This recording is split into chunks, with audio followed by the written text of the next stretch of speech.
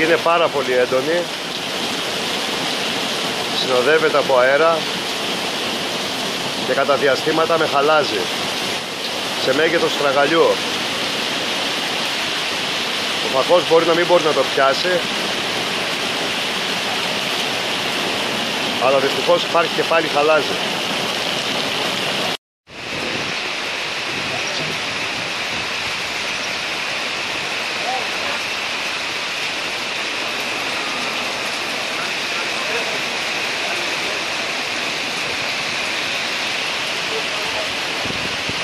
live.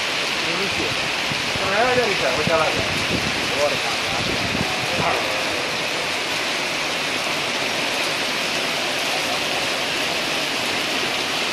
Oh, por eso yo jalado. Por eso yo jalado.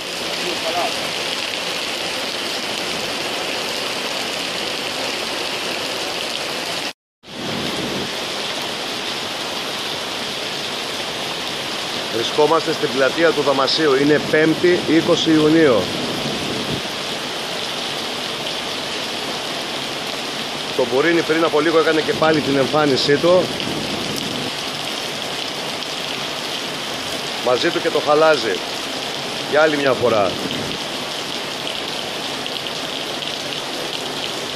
Ευτυχώς το χαλάζει είναι μικρό αλλά δεν ξέρουμε τι γίνεται στις αγροτικές περιοχές. Εκεί που υπάρχει το μεγαλύτερο ενδιαφέρον. Μιας και το χαλάζει τους τελευταίους 2,5 μήνες στο Δαμάσι χτύπησε περισσότερες από 5 φορές τις περισσότερες καλλιέργειες του χωριού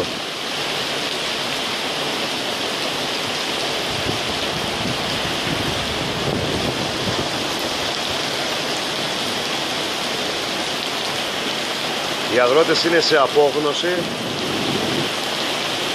βλέπουν κάθε χρόνο τις οδηγίες τους να καταστρέφονται. Ευχόμαστε να μην έχει προκαλέσει ζημιές σε άλλες καλλιέργειες. Μιας και πριν από δύο μέρες και πάλι το γαλάζι έπληξε αρκετές περιοχές.